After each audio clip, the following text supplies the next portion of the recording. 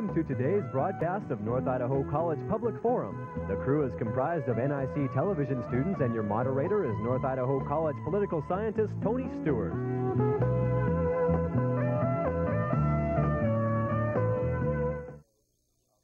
Welcome to our program and our discussion today of Belgium resistance during World War II. In order to discuss this particular topic, we're happy to welcome to the program Al Vogel, who is a reporter with the St. Maries Gazette Record in St. Maries, Idaho. Mr. Vogel's family uh, was involved in the Belgian resistance, and he's been most cooperative and to be with us today to discuss this important topic. And Al, we wish to welcome you to the program. Thank you. And I'm happy, as always, to have regular members of our panel with us to discuss this topic today. Uh, first of all is Janelle Burke, who is an attorney in the state of Idaho and next to her is Steve Shink, who is Dean of College Relations and Development at North Idaho College. And we shall ask Janelle Burke to commence the questioning. Mr. Vogel, you have a very personal interest in this topic that you're going to be talking about today. Please share with us some of your background, uh, that is, how your family came to be involved in this Well, actually, it was only my mother that was involved in her first husband, Pierre de Preter. Um, she is a she was a Belgian national. She's been dead now six years, but um, early in the war, her husband, who was a school teacher, was a lieutenant in the Belgian army. He was captured, put in a POW camp for about six months, repatriated back to the country as a school teacher and formed his own resistance group. And uh, of course, my mother, being married to him, was active in the group as well. He was uh, captured by the Germans Later on, about 1944, uh, tortured, taken up to, I believe it was Dussel Dusseldorf, and he was shot there. At the time that your mother was involved, did she have children? No. So they were a relatively young couple and felt strongly, I would take it, about the politics and what was going on at that particular time and became involved in this movement. I don't know that it was so much an involvement in politics. Uh, when you have armed guards on every corner and your friends are being hauled off in the middle of the night, politics kind of takes an aside almost. It's whatever your belief is, you're still a national, you're still a patriot. And when you're occupied like that, whether you're a communist or uh, conservative, you are still going to do the best to get rid of the invader.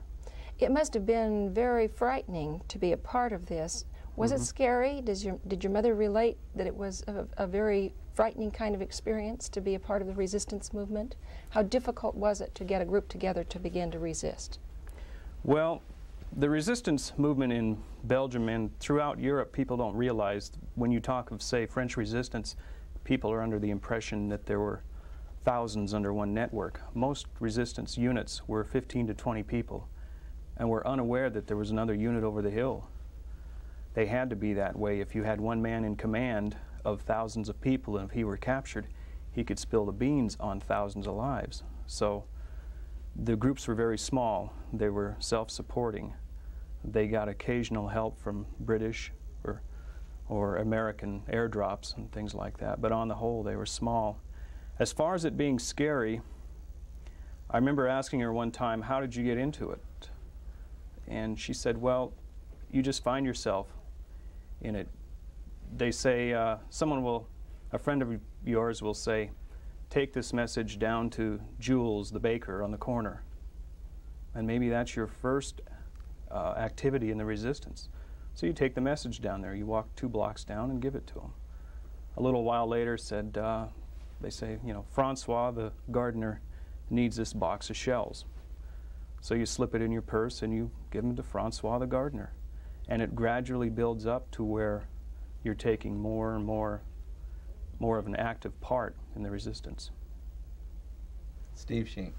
Al, uh, apparently you have been spending some time now actively researching uh, your mother's participation in the in the Belgian resistance during World War II. How did that start, and how long ago uh, did you become interested in that work?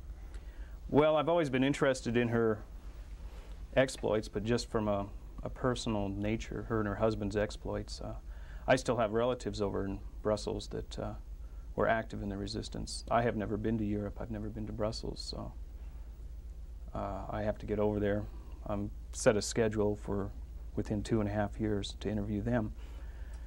But actually, I've only been researching her activities for about the past four or five months. Uh, the first thing I did was I photocopied a lot of the material and sent it to Simon Wiesenthal, whom they call the Nazi hunter in Austria. And uh, there were some secret messages that I have that were passed to her by her husband. And since they're in French and I don't speak French, I sent it to him thinking there might be some important information in that. He said that so much of it was in code or personal that it wasn't of much value to them, but they did appreciate my effort. Tell us a little bit about your research methodology at this point. What, uh, what avenues are you pursuing as you, as you research this interest? I've been interviewing my father a bit just to see if he remembers anything that mom might have said along the way. Uh, my relatives, I have a lot of relatives in Tacoma that she was close with, picking up little anecdotes and tidbits that way. I've sent a uh, letter to the CIA. The forerunner of the CIA was the OSS, Office of Special Services, or Strategic Services actually. And they, I know, dealt with a large number of resistance units during the war and supplying them. Um, I've sent letters to British MI5, military intelligence, thinking that in their old documents they might have some reference to the, the name of uh, Pierre de Preter's group was the Luke Mac. And I've been looking, it's just kind of a random tripwire approach. Just send out to anybody and do you have anything on the Luc-Marc and Belgian resistance units and Sylvia de Preter and Pierre de Preter.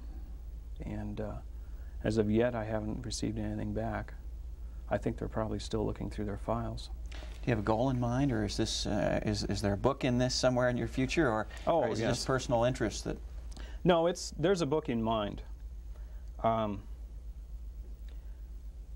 the thing that I think spurred it on is I got to thinking one night about my mother died of cancer. She spent the last six or seven months bedridden. And while she was laying in bed on the news, there was a great deal about the Reverend Richard Butler and the airhead nations, or whatever you want to call them.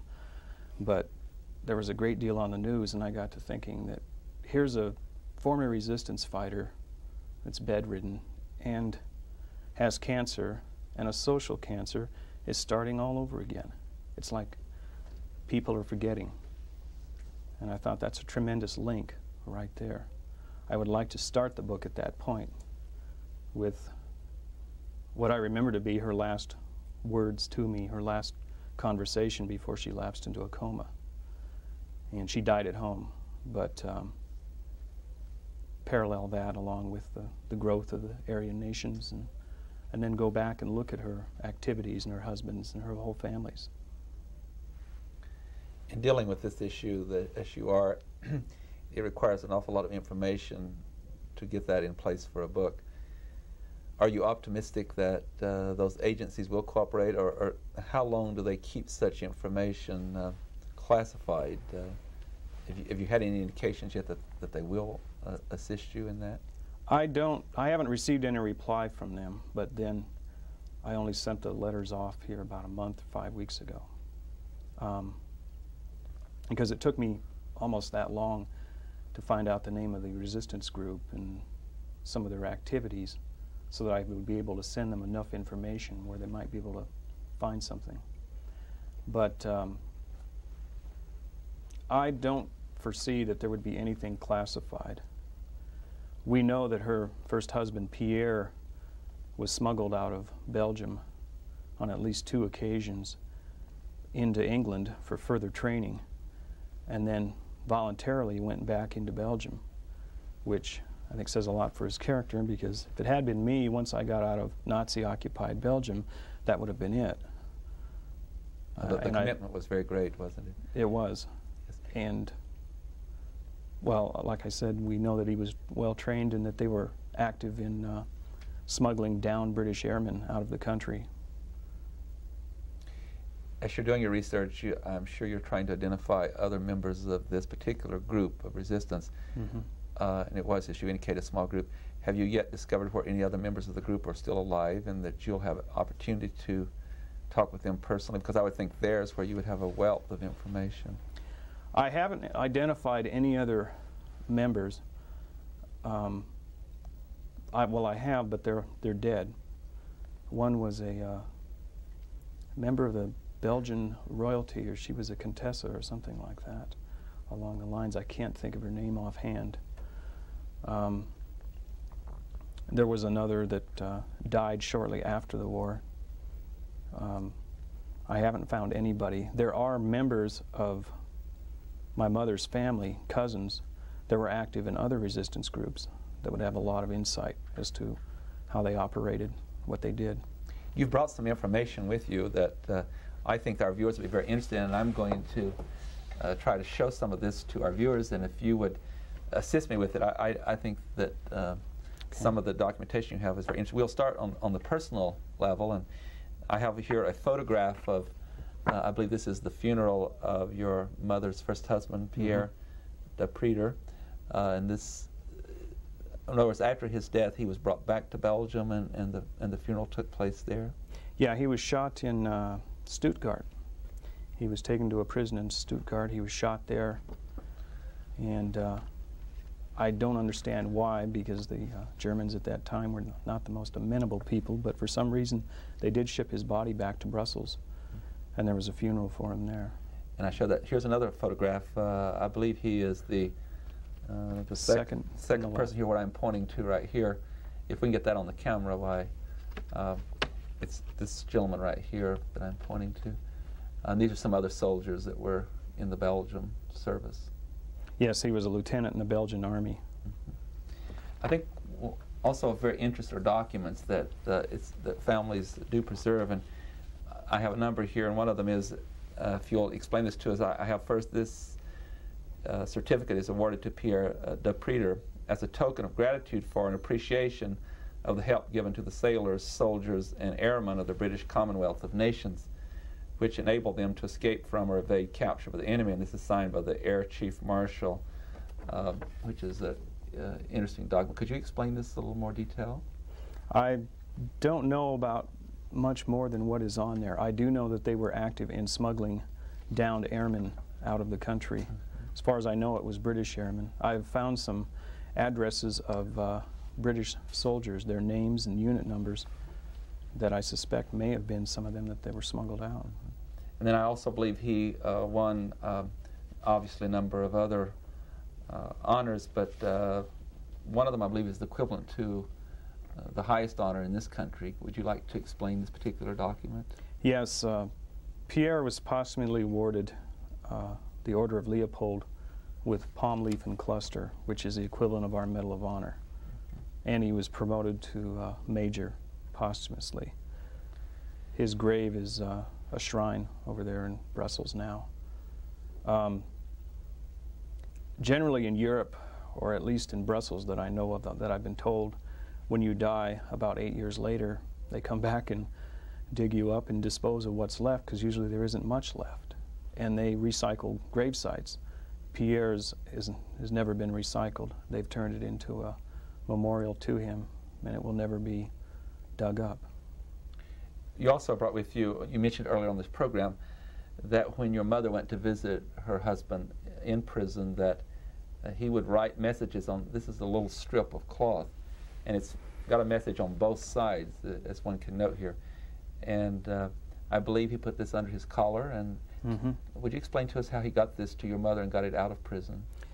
Well, when he was in uh, Breendonk, which has been a prison in Brussels for 300 years or more, uh, possibly even longer than that. I, I know at least 300. But anyway, when he was a prisoner in Brussels, and Breendonk was uh, a torture prison for the Germans.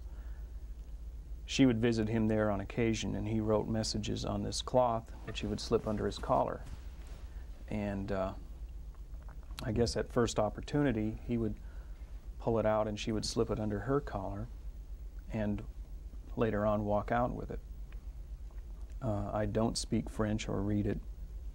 I've had some of it translated. I do have a friend of my mother's in Tacoma that's uh, Belgian, she has translated part of it, but uh, and she was a young girl during the wartime. Uh, her biggest difficulty in translating it is that she breaks down because it is, you know, it still strikes home with her after 40 years. You also brought with you a, a dress, a, a, or blouse, excuse me, I guess it's a blouse that we mm -hmm. can get mm-hmm. this. And this is something your mother made, and uh, would you explain to us the significance of this blouse? That blouse is made out of a British parachute. Uh, I suspect it was a parachute from one of the downed flyers that they helped to smuggle out of the country. Um, uh, she said that material was extremely difficult to get hold of during the war, except for lace.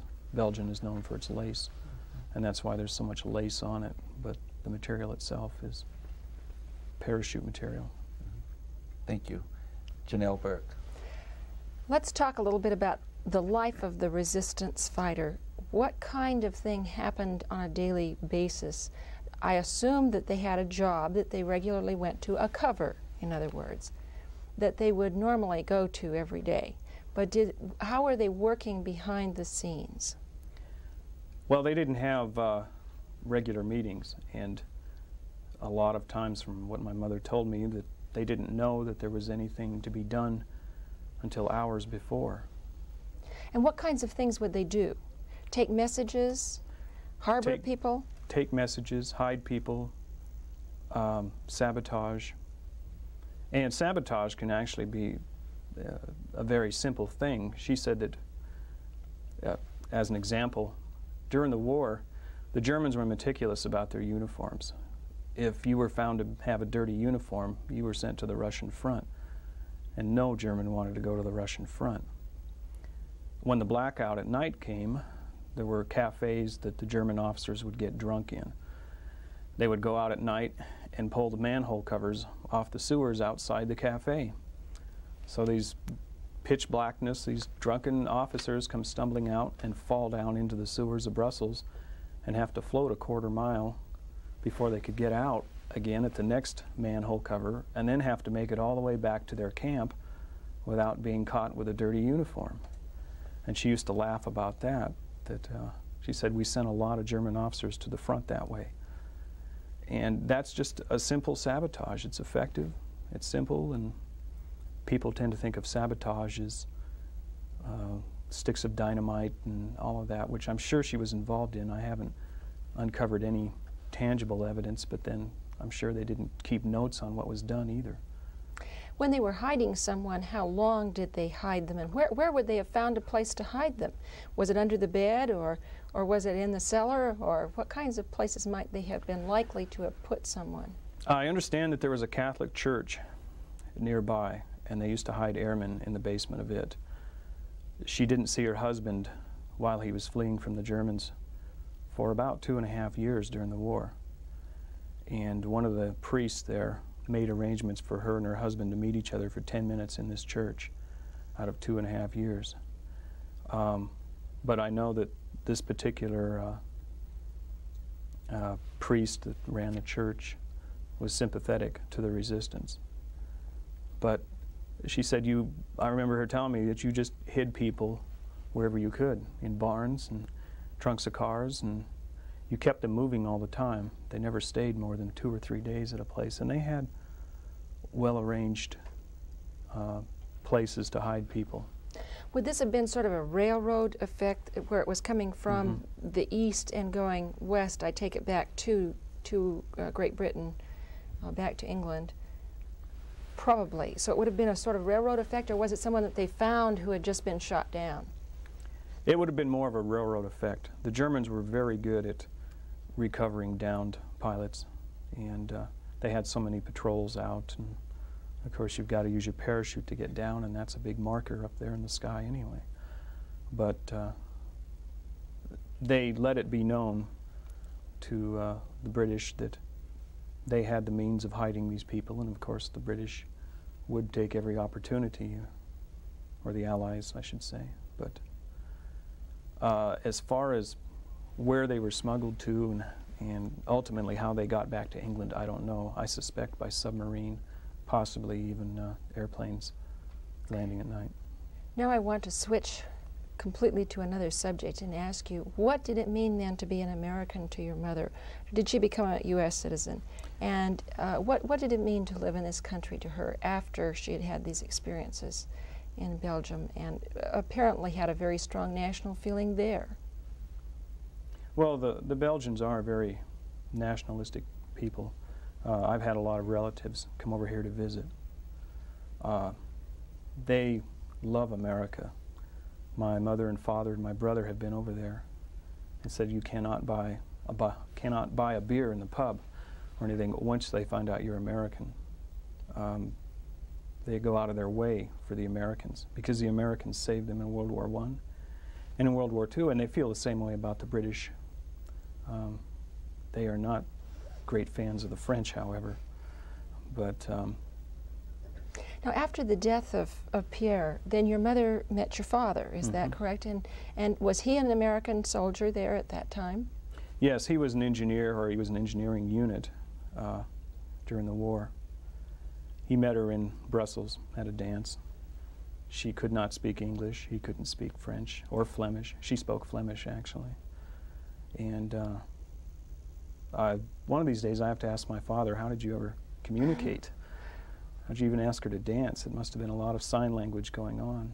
And he was only there in Brussels for about two and a half, three weeks before he uh, moved out and for the final conquering of Germany. And he came back here in 45 and saved up money and sent her the ticket to uh, come over on a boat in 47. He drove all the way back from Tacoma, from Tacoma to New York to meet her at the boat. And, what did it mean to her then to become a person who lives in this country where there's so much freedom? Oh, she thought the world of this country. She really did. There were a lot of things she didn't understand, a lot of inequities, especially during the uh, Vietnam War with uh, draft deferments for college people that were in college. She thought that if you were going to draft anybody everybody should get it equally across the board, and she was very much against any kind of deferments except on physical grounds. Um, but in later years, she said that coming to this country, she said a number of times, was the best thing that ever happened to her. Steve Sheen. Al, as a reporter, it must be very frustrating for you to have had the perfect source for your for your research in your mother six years ago and not to have begun the project until after she died. Mm -hmm. Um, did she ever, in any of the conversations that you remember, and wouldn't, they wouldn't have been structured at that point, but did she ever talk about how it was that she escaped? Um, I can see that early uh, the Germans probably hoped that she would lead them uh, to her first husband. Mm -hmm. Afterwards, um, it, it, must have been a, a, pretty risky thing for her. They could have, clearly they knew she was a, a sympathizer. They could have arrested her too, couldn't they? They did arrest her on two separate occasions. She was jailed once, I think, for six months and another for four months. Did she feel lucky to get away with her life? I think she felt very lucky.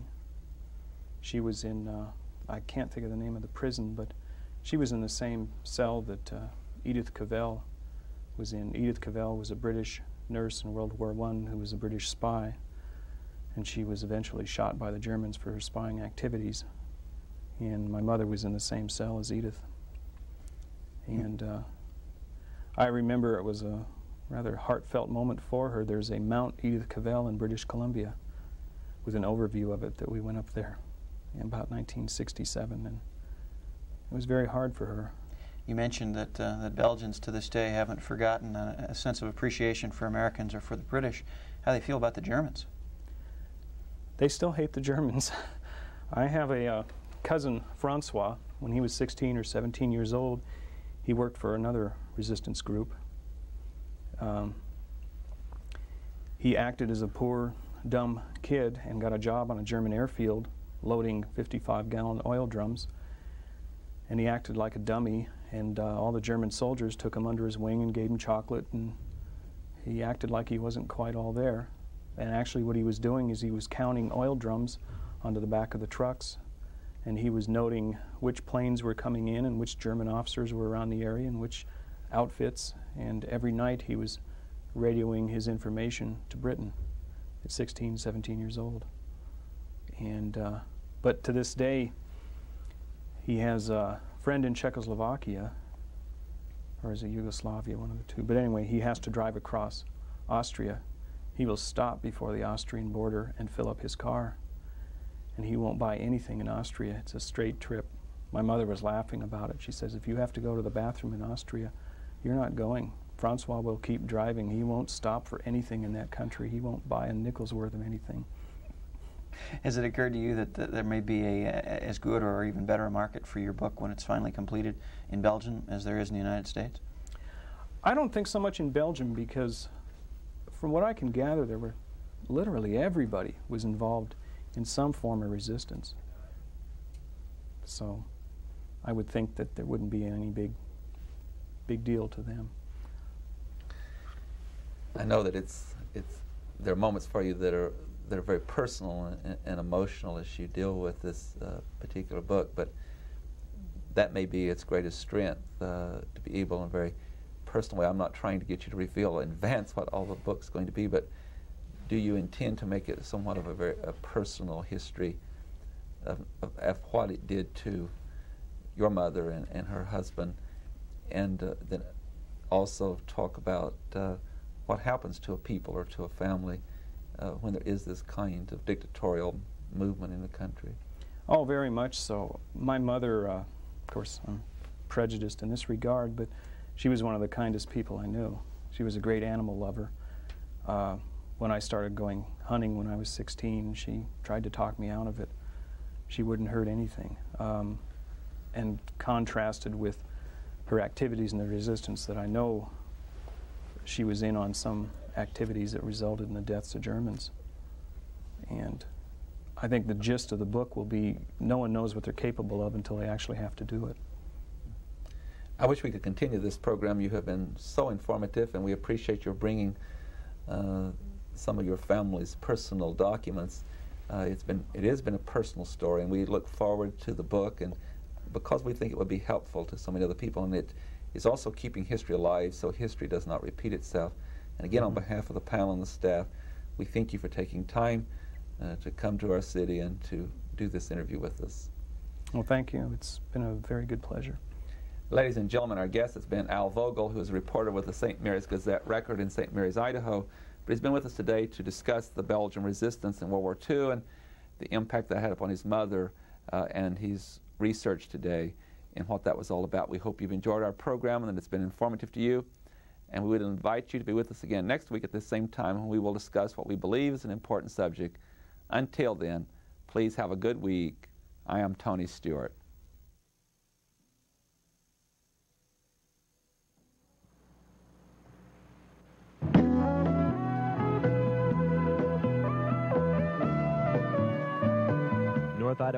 College Public Forum can be seen at the same time each week over this station. This production was videotaped earlier by an NIC student crew for viewing at this more appropriate time.